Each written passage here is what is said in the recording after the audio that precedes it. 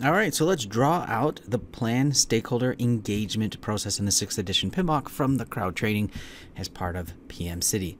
Well, starting with the inputs, we can start with the project charter because that at the very start of the project is really indicating to us what is the point, who are the people involved, all the different elements that we need to know, like the stakeholders, how engaged are they going to be, what are their objectives, what do they care about, all those different pieces. So the project charter is one.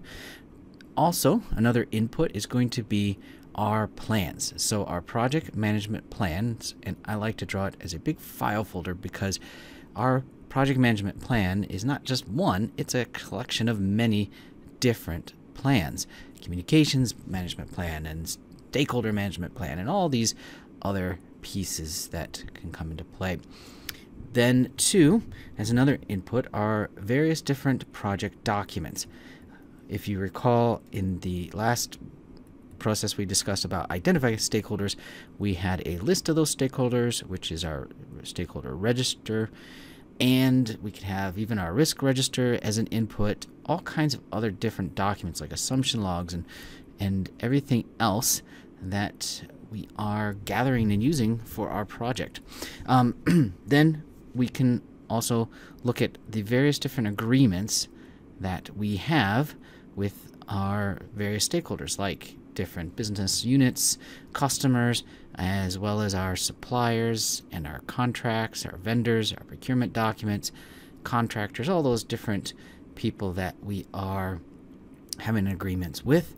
And we are a product of our environment, so that is another major input. It's just sort of the culture or the way we do things around here, our enterprise environmental factors, and possibly we have some templates and guidelines and procedures and, and things to reference. So those are organizational process assets. So I'm just kind of drawing, uh, you know, a binder with a bunch of templates in it. All right, those are briefly again the inputs to the plan stakeholder engagement. Now let's oops, move on to the tools and techniques. Our tools and techniques, well, we've got to figure out a way to gather the information about our stakeholders. So, however we gather it, um, whether it's you know looking around or collecting it in some way. So I'm just going to kind of draw somebody here collecting data and information uh, about things. So I'm just going to kind of briefly call this data gathering. So it could be um, looking at benchmarking and asking questions and uh, assessments in any sort of way.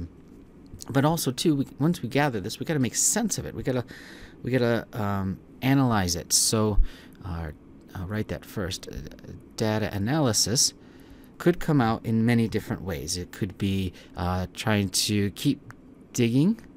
Let me see if I could draw a shovel here.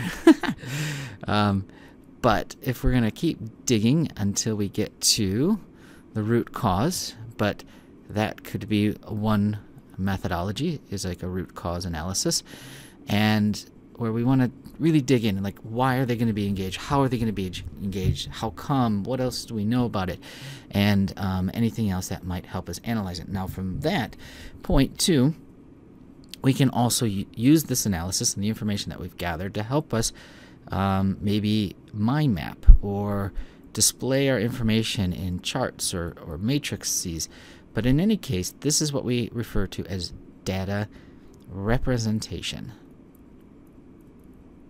You know, just sort of presenting this analysis and this information that we've gathered in some sort of way that we can make sense and decisions on it, which then, of course, we need to make a decision. We need to, uh, let's say, you know, select or pick a an engagement strategy or, or a way to to work with um, various different stakeholders or just decide whether or not they're going to be for our project against our project. And that might require some expert judgment. So I'll draw this person who just is thinking who's kind of knowing and this is our expert. Maybe it's based on experience maybe it's based on history maybe education but there is some expert judgment that allows him or her or us to be able to make those decisions. And sometimes we have to sit around the table or have conversations in the hallway or maybe make presentations and have various different meetings and discussions to help us work through all this information and make sense of it all. All right, that very quickly was the tools and techniques of the process. Now, finally, let's move on to the outputs. The output is pretty straightforward. If the whole uh, part of this is to plan our stakeholder engagement, well, we should have a plan to do that. So I'll just try to draw a book here, and this is our plan. But what kind of plan is it? Well, it is our stakeholder engagement plan.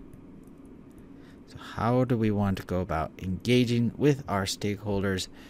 And that means throughout the project and we want to keep this updated. This will be part of our project management plan and we are really that's the whole point of this is to understand who these stakeholders are as we have identified them in the last process, but also how do we want to best interact with them? How are they going to benefit the project? How are we um, wanting to influence it in any way? How are they going to influence us? And how much do we want to keep them engaged? How little, etc. Lots of different things. But that briefly is the planned stakeholder engagement process in the sixth edition PMBOK from the crowd training and PM City.